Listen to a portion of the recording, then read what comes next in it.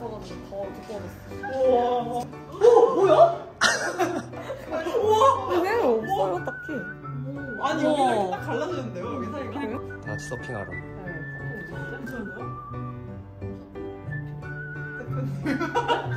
어케이션을 어케이션, 어, 어케이션은 저한테 계속 말씀하시는 이유가 뭐예요?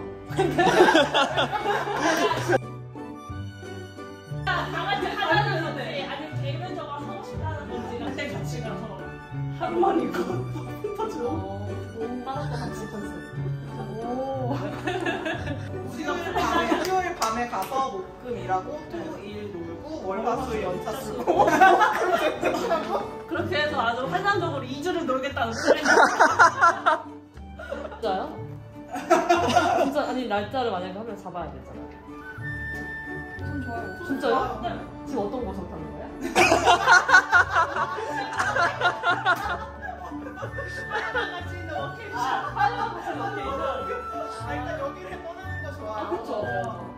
아 이거 바다 앞으로? 아, 아 그럼 너무 대형마르크 현실이다 쿠샵이에요? 이제 이제 정체성을 찾아야 돼아 정체성을 찾아야 아 장소 먼저 정하고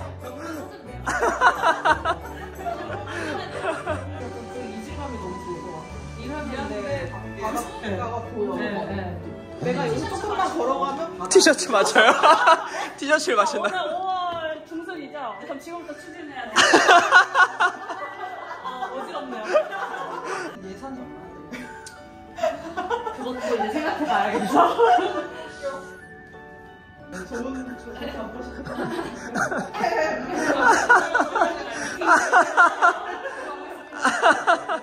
아 엄청난 점심시간이었다.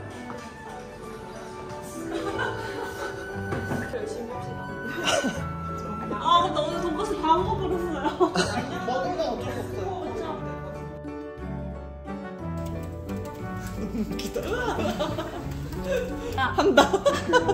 하나 둘, 셋.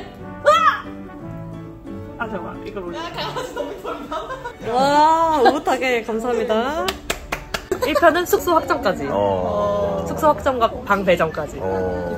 네, 해보겠습니다. 어디 채널에 올라가요? 사다리? 사다리 필름 채널에 올라가도록 하겠습니다. 어.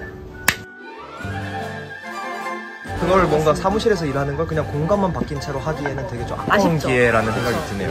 뭐 예를 들어 뭐 조를 짜서 그날 촬영 편집 뭐 이런 식으로 편집자 한 번씩 먹고 촬영하는 거 기획하는 거한 번씩 먹고 이렇게 조를 짜는 거예요. 그 다음에 그그 하 3일이니까 하루 하, 그날 찍은 거를 한끼 찍은 거를 이렇게 나오니까 그 그날 편집하는 이날 찍은 고장 나서 그걸 하기에 그걸 이제 어케이션 추진위원회 분들께